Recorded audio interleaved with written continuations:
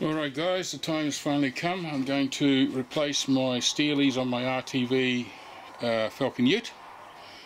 It's a 2006 BA Series 2. Um, it came out with Steelies after the BA had nice alloy mags. Um, I always liked the alloy mags, but obviously when I bought the later model, it didn't have the alloy mags, it had the Steelies. So I've been driving around on them obviously for a long time. Um, I tried to buy a second-hand set of uh, Alloys RTV wheels.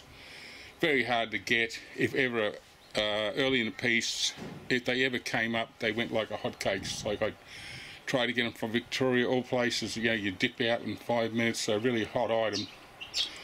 Uh, for guys who obviously, like myself, wanted to run the mags rather than the Steelies. Took me 11 years to get a set. 11 years.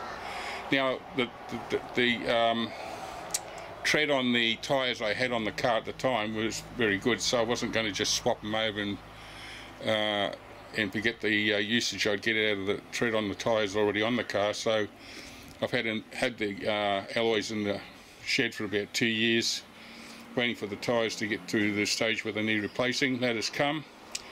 Now, when I got the uh, alloy wheels second hand, the guy gave me these four discs, and I actually said to him, "What are they?" Because I hadn't seen them before. He said, "Well, he said, well, apparently they are. They're dust covers for the mags. So you put these on first, then you put your mags on and screw them up, of course. But that's your idea. They they're supposed to stop the dust coming out from the dust from the disc brake pads uh, to go onto the wheels, which I've led to believe. A lot of guys take these off. They say they're useless. Um, they, you know, the wheels breathe a bit better with them off. Then you've got another side of people who say no, they're good. They protect.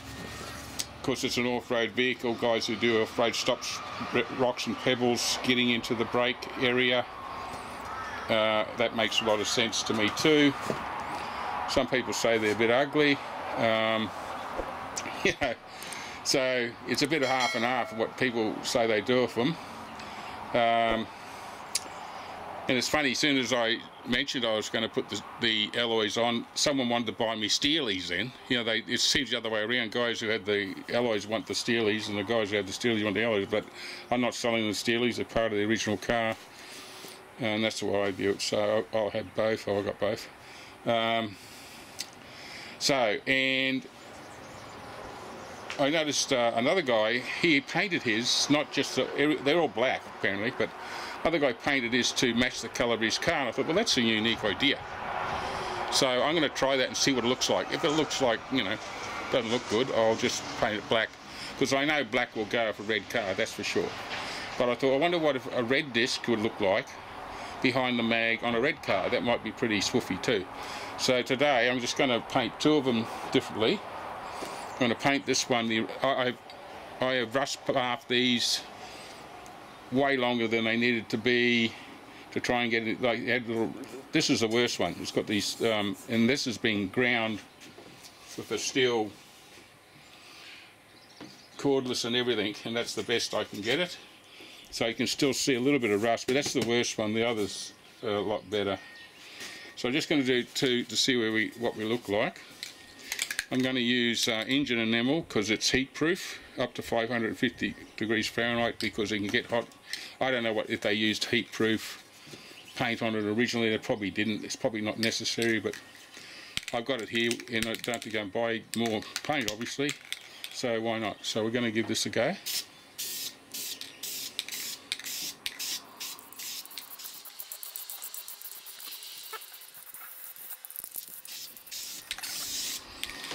Okay, so that's a black one done.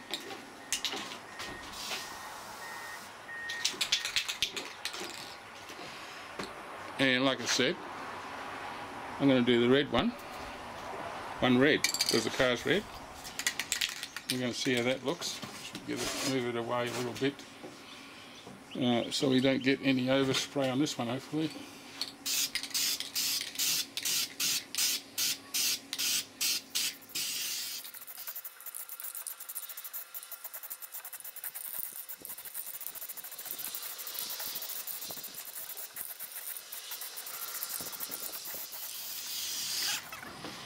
Righto, it's drying very quickly, isn't it? So we have one black one, and we have one a red one. And I'm going to see uh, how that looks behind the wag, mag wheels when I put them on. And if I like the red, I'll paint them all red, obviously. And if I like the black, I'll, I'll um, paint the rest of them black. See. What, I mean, black and chrome always can't beat it, but uh, there's no harm in just seeing what one looks like. You get a good idea. Good then.